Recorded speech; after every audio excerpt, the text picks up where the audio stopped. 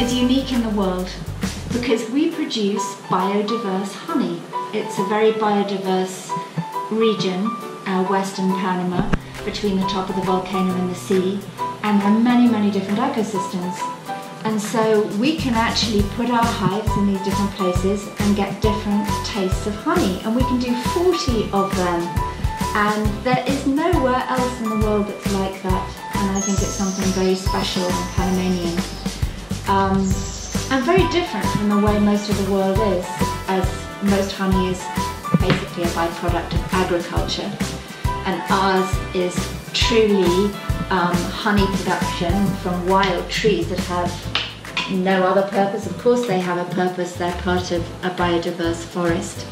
And that's really what's important about these two. Now, in fact, in Panama, there are many thousands of types of bees. And to get biodiversity, that's what you need.